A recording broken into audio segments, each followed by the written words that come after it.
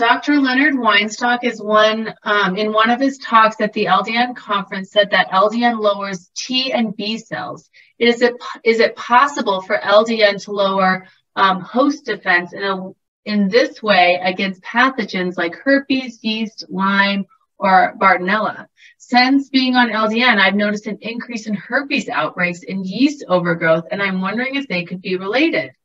Great question. I we see this actually a lot when sometimes there is a lot of times most people who have autoimmune diseases actually have multiple autoimmune diseases. Or multiple type of infections happening and you can see the other infection kind of flare up like this and so that is not uncommon. But what we need to do is treat the underlying issue too.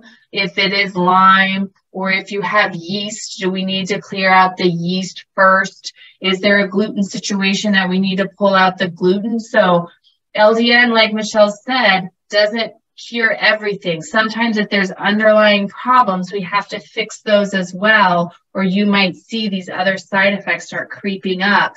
But it's really the LDN has started helping your body, and now other things are starting to um, come about, basically. So this is actually very common in what we see. So we do need to treat um, the other underlying issues too. Yeah, it's rarely a monotherapy. It's ra- it's rarely one drug that's going to treat everything, right? You gotta gotta get out your toolbox.